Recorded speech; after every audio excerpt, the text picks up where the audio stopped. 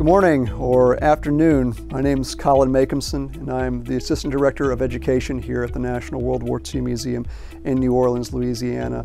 And uh, we're very happy you can join us for our third virtual innovation studio, where we are going to look at some really fun science hands-on activities for uh, you can do as an individual, uh, but they're a lot more fun uh, to do with uh, friends, siblings, and also other members of your family. Typically, we do these programs uh, in our Kushner Restoration Pavilion, our STEM gallery here at the museum, but due to the current conditions and us wanting to be safe, we're coming to you virtually. So we're happy that you can catch us uh, on the premiere uh, on Saturday, March 20th, 2021, or catching us uh, on the rebroadcast. And if you were one of the 50 first families who registered for our virtual innovation studio, you received one of these from the museum. And inside these boxes that were mailed out to the first 50 registrants for our third virtual innovation studio are all the supplies and materials that you need to take part um, in our program. If you didn't get one of these boxes, don't worry. Uh, none of these materials and none of the items that we're going to be working with today uh, are things you won't have, uh, have an easy time finding around your house. So um, we're going to be looking at three uh, science hands-on activities uh, this morning, all of them focusing on time. It's uh, spring forward time, so we're moving our clocks forward and backwards, uh, getting a little bit more sunshine, which you know, makes me happy. Uh, I uh, don't like waking up in the dark and going home to it as well. So uh, we're going to be looking at uh, three activities that talk about time. time was very, very important, both for the people fighting in World War II, and then also the folks back home wondering when the war would end, when the fighting would stop. So we're going to look at three uh, hands-on activities uh, having to do with time um, that can uh, tell us a lot about what was happening in World War II, but then also um, talk about the science behind these activities as well. So we're going to look at uh, our first activity, I'm going to pull it up on our document camera so you can see exactly what I'm doing uh, and you can follow along with me at home. And this is going to be talking about uh, a really ancient technology uh, of how people have been using to measure time, um, you know, from really, really, really a long time ago. Uh, but uh, for one individual, especially during World War II, had a very, very special meaning and has a connection uh, to uh, his famous son, who some of you may be familiar with as well. So let's go from me to look at what we're going to be working with. So what we're going to be working with today, guys, um, is we are going to be making uh, a sundial. A sundial is a very, very simple way for individuals to measure the passage of time. Uh, you can unpack it, uh, sun uh, dial, uh, like a dial of a clock, and the sun is what is driving the movement of this um, of this of this dial of this instrument used to measure uh, the passage of time. So what we're going to need for our activity, obviously, I'm inside, but this works best when we are out in the sun uh, and the sun uh, is is up up up ahead. If it's a bit cloudy uh, or a bit darker of a day, some of your uh, measurements um, may be a bit uh, a bit skewed. So wait for a, a bright sunny day. So all you need to make a sundial is um, what I have right in here in front of me. It's just a simple paper plate. I have sort of a small one. You can use bigger ones. You can also, um, you know, use this template to expand if you wanted to make a really big sundial uh, using pieces of cardboard or, um, you know, uh, boxes or even, you know, some metal material. So we have a paper plate here. And the first step in making our sundial today is we need a pencil. And what we're going to do is we are going to pass our pencil right through the center of our paper plate. Um, moms and dads, if you really want to make this, you know, challenging or more rigorous, you can uh, have uh, your, your, your, your youngsters or whoever is uh, participating in this program with you to get out the tape measure and you take the measurements of, um, of, of, the plate to get the exact center. Maybe even talk about circumferences uh, and, and, and things of that nature as well. But really we want you to pass that pencil through the middle of our paper plate, uh, tip pointing up and the eraser on the bottom. So it sits really snug and secure.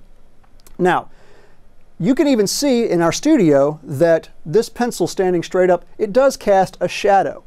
And in our studio, it's just kind of a shadow. It doesn't really tell us that much.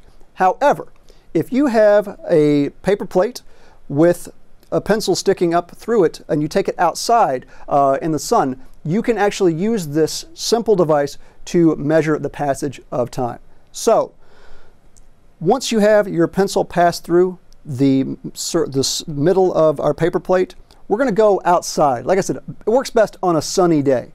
Wait until the passage, uh, the wait right until an hour is about to occur. It can be 10 o'clock in the morning, 11 o'clock, it can be high noon.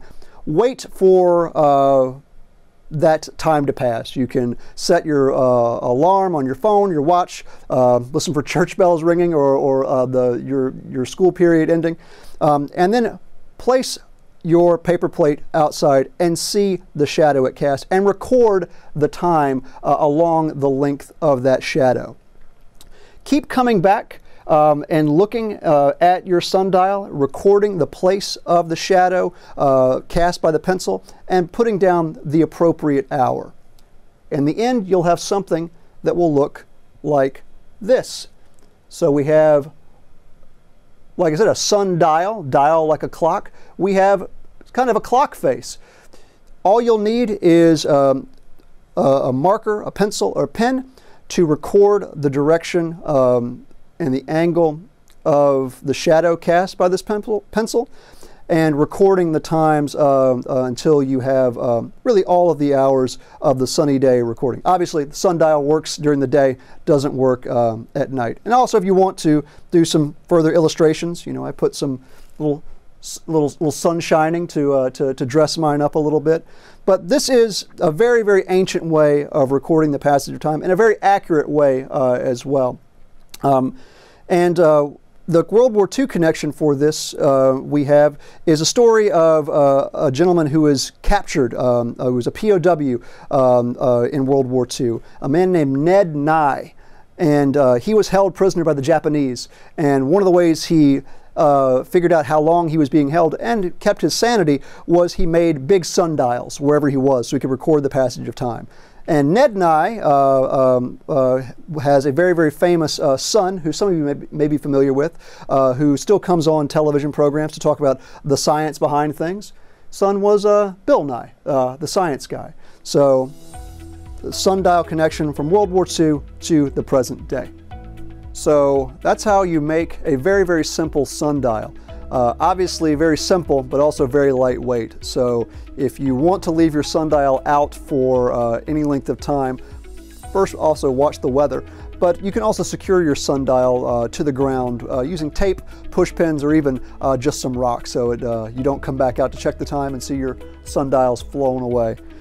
So we're going to stick with that theme of time like I, like I talked about at the very beginning and we're going to look at uh, a way that we can make a calendar, uh, a three-dimensional calendar, in fact, uh, looking um, at um, uh, some very, very uh, simple templates, um, making a something that's two-dimensional into three-dimensional. Now, if you were one of the first 50 families who registered for this program, you'll receive these templates uh, already printed out uh, for you in the mail. If you were not, uh, don't worry, we'll have these templates available um, either emailed to you or available for download.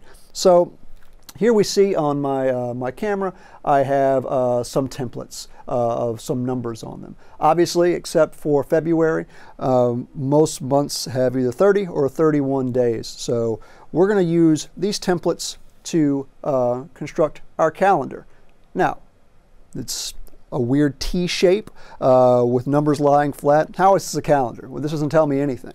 Um, what we're going to do and what you're going to do is you are going to cut this template out uh, and you're going to fold in where you see the dotted lines on these two templates. Uh, the one that says 0, 1, 2, 3, 4, and 5, and the one that says 6, 7, 8, 0, 1, and 2.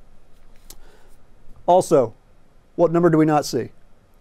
We don't see a number 9. So what you're going to do if you need a 9 for your calendar, you're going to turn your 6 right upside down.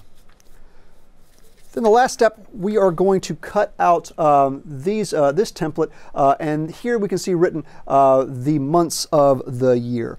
Uh, and again, similar to our past two templates, you'll see some dotted lines where you will fold them in. And when you're done cutting them out, they'll look like this. There's our months of the year. There are our days of the year, or dates of the year rather. And when you fold them up into along those dotted lines, we leave uh, two-dimensional uh, space behind, and we have all of our dates now in three-dimensional form, like dice. So today we are on March the 20th. There we have it. We can flip those right around. Um, again, talking about uh, uh, what other dates and combinations we can have. All of our numbers are on here, but again, if you need uh, a date with a 9 in it, you can flip your 6 around and have 29, or on the other side, have 26. Um, and then beside um, uh, our, our, numbers and our dates, we also have a way we can put our months of the year. This is what's called a perpetual day calendar. You can make these out of paper. You maybe have also seen them um, uh, made out of blocks or wood or plastic, uh, but it's a very simple way uh, to keep track. Uh, so here we have June, July, and into August, and then our other months of the year as they come in. But more than just being able to uh, keep track of time, you can also ask what else you could do with these. You can sort of like dice, maybe play some games with them. But also the idea of introducing um, how two-dimensional shapes uh, can take on three-dimensional characteristics and how they could be used. And again, something that's on paper, very, very easy to, um, to replicate and fix. Um, we secured these in place just with some tape you can use glue, glue sticks, um, or really any which way you want. Also, if you're wanting these to last a little bit longer, you could use cardstock or uh, even laminate them if you would like. So we're going to uh, look at another activity following this, uh, again, sticking with time uh, and talking a lot about what the museum does uh, here in New Orleans. So we've made a calendar to mark the passage uh, of the year. We've made our sundial uh, to mark the passage of hours in a day. Um, what we're going to do as our last activity is related to the science of time and also about the passage of time. We here at the National World War II Museum, we deal with that a lot. Uh, World War II is 75, 80 years ago now.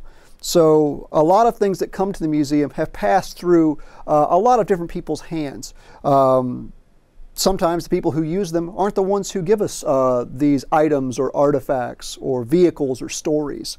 Um, but each person uh, is sort of a link in the chain of keeping memories and stories alive.